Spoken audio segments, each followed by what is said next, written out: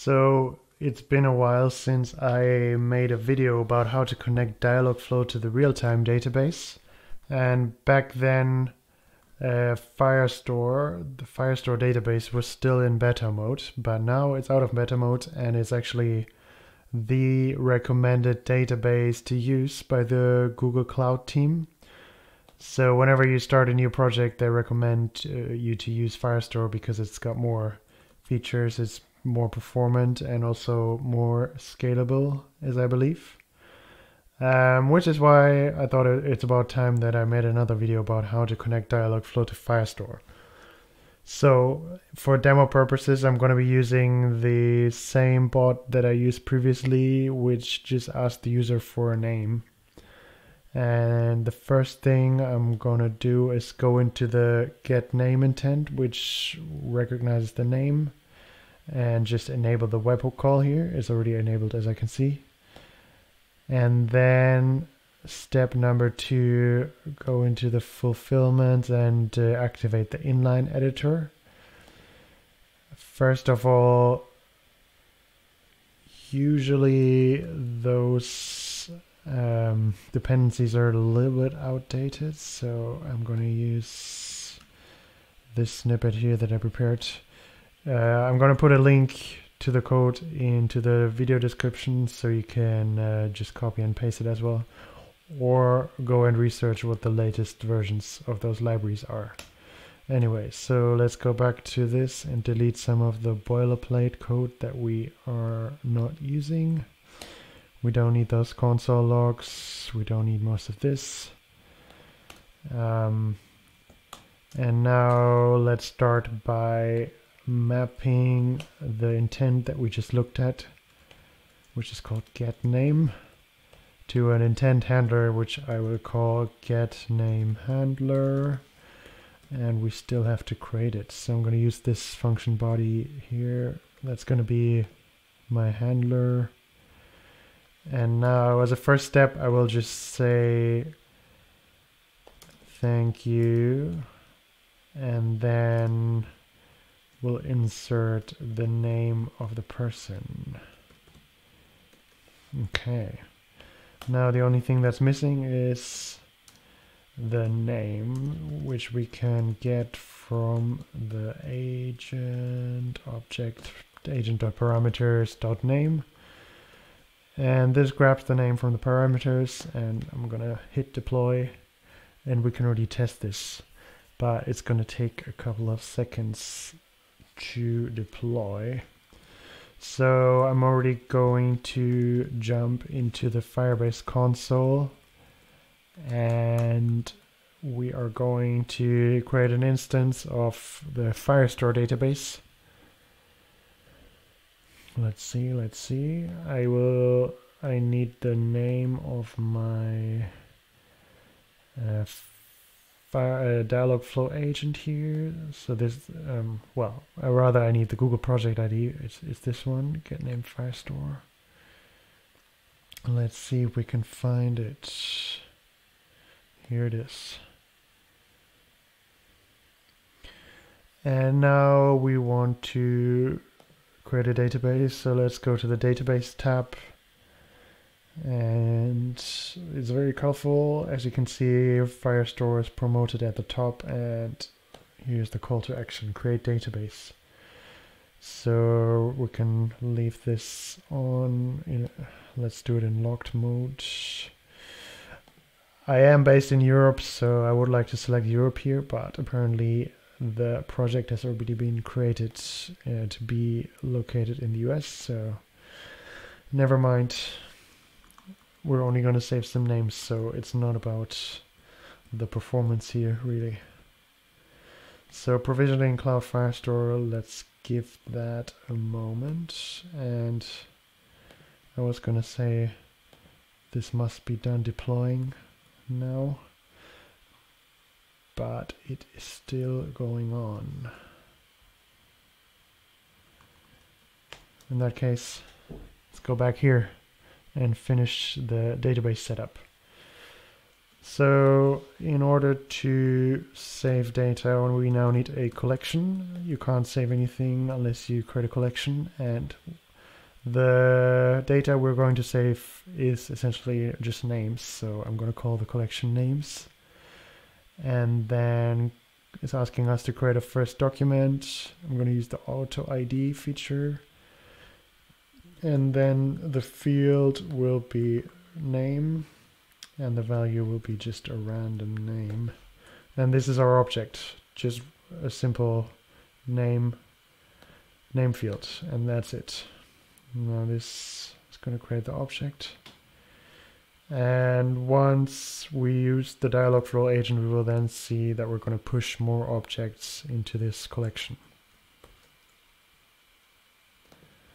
Now this seems to have gone wrong. I'm going to reload.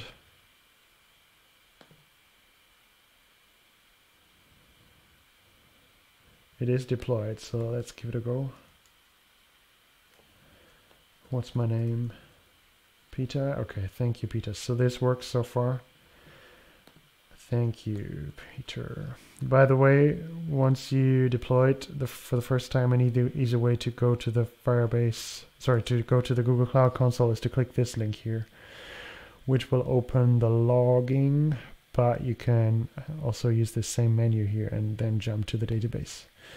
Anyway, let's go ahead and go to the really interesting part, which is going to be creating the database connection. It's super easy.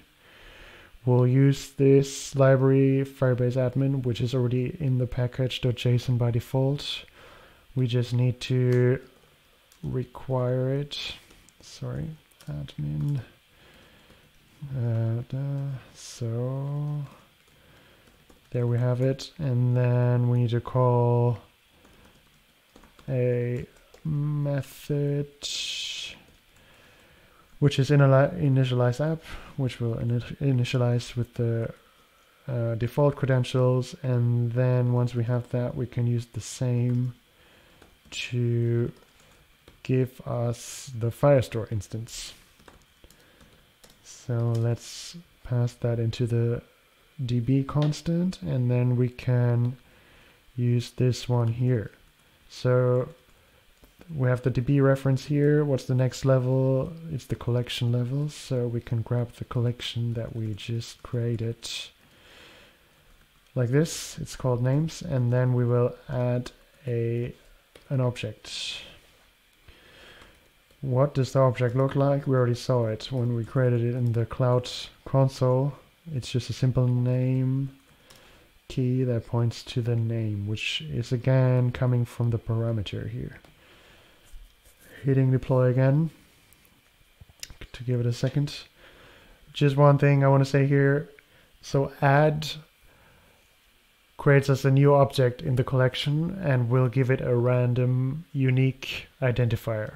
We also have the option to specify the identifier. I believe it's the doc function and then we can pass a document ID here.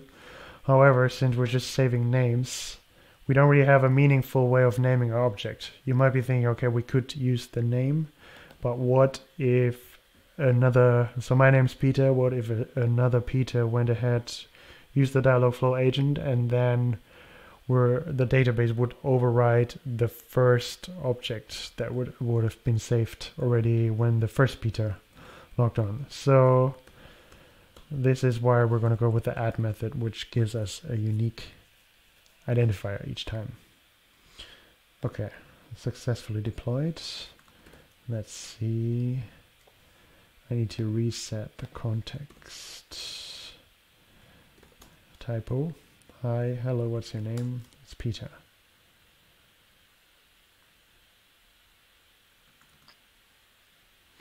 not available. So either there's an error or it's just hanging somewhere, which is usually the case if you don't give it a couple of seconds after finishing the deploy. So let's do it again. So yeah, nothing. I didn't change anything. I just did it, uh, tried it again, and now it's actually replying again. Thank you, Peter, which is a good sign. So let's go and see what happened here. And indeed, we have the objects which were added. They actually were added, both of them, so that's great.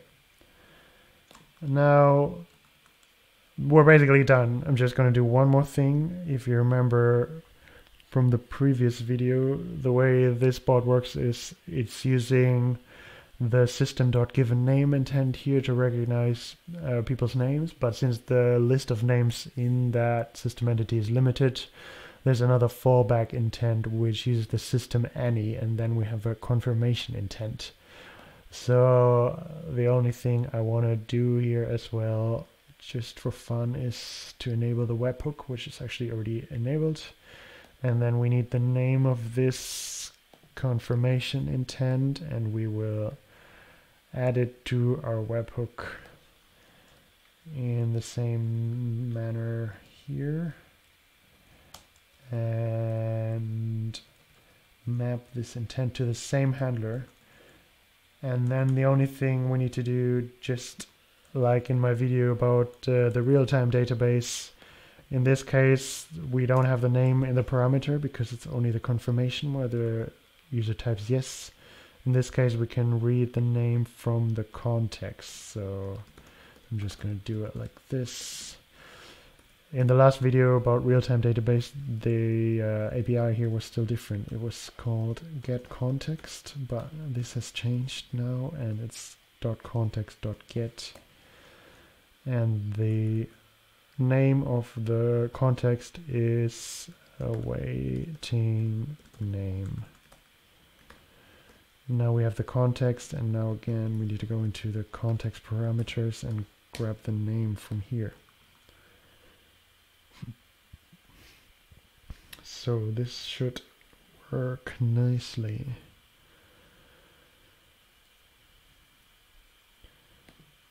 Let's look at the logs quickly. What is deploying? Yes, I want to share all my data so Google can make their services better. So we only have the standard warning because I used the default credentials when I called initialize app, so no other errors. That's looking good. And now just waiting to deploy.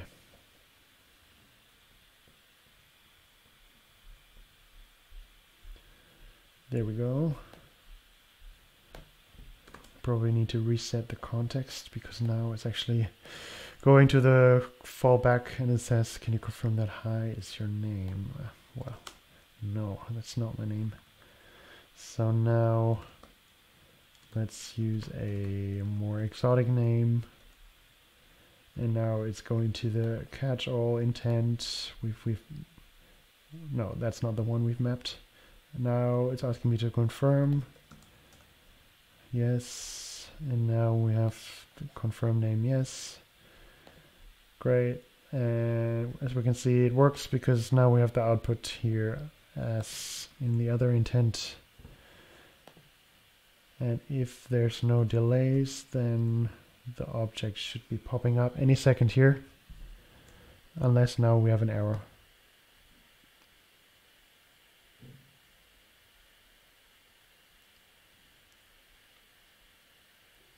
This is still looking good. I'm just gonna hit reload.